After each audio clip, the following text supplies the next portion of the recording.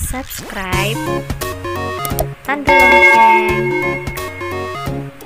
like, dan share. Assalamualaikum warahmatullahi wabarakatuh. Hamdan lillah Nahmaduhu wa nasta'inuhu wa naufiru amma ba'du. Apa kabar anak-anakku? Semoga kalian beserta keluarganya diberikan kesehatan oleh Allah Subhanahu wa taala dan semoga kalian diberikan ilmu yang manfaat dan barokah oleh Allah Subhanahu wa taala. Amin ya rabbal alamin. Baik anak-anakku, sekarang kita belajar di BK 1 sudah sampai pada halaman 27. Yang mana BK halaman 27 ini menjelaskan tentang huruf kaf, huruf lam, huruf mim. Jadi di BK halaman 27 ini menjelaskan tentang huruf kaf dan lam dan mim juga menjelaskan tentang harokat kasroh.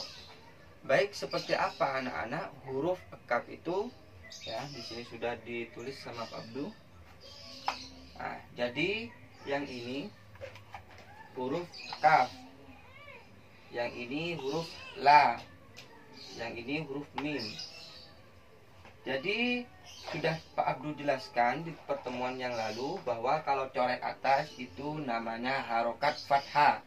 Jadi bacanya ka la ma. Ka la ma. Ini juga huruf kaf, cuma ini coret bawah, berarti ini ber harokat kas kasro. Ini juga huruf lam, cuma coret bawah, berarti harokat kasro. Li cara bacanya.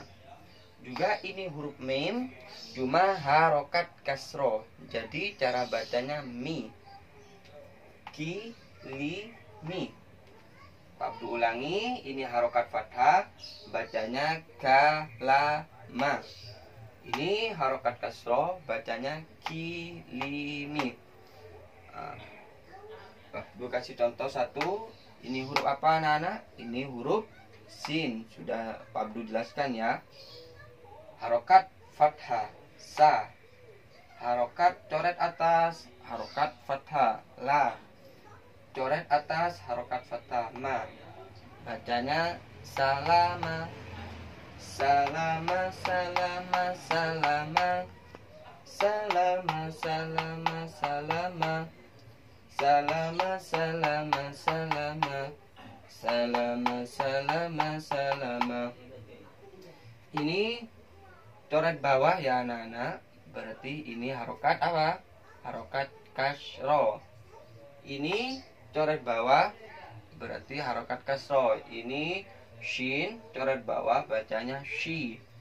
Ini huruf lam coret bawah bacanya li. Ini huruf mim coret bawah berarti harokat kasroh cara bacanya mi. Shilimi shilimi shilimi. Shilimi shilimi shilimi. Shilimi shilimi shilimi. Shilimi shilimi shilimi. Kalau ini ya sa kalau ini sya sudah Pak Abdul jelaskan ya seperti itu. Baik di halaman 27 ini ya anak-anak perlu diingat ya. Kalau coretnya ada di atas berarti itu harokat fathah Kalau coretnya di bawah berarti itu harokat kasro. Baik anak-anak jangan lupa belajar ya. Uh, Pak Abdu ingatkan lagi bahwa di halaman 7 ini yang perlu sampean ingat adalah harokat fathah itu coret atas, harokat kasro coret bawah. Terima kasih. Assalamualaikum warahmatullahi wabarakatuh.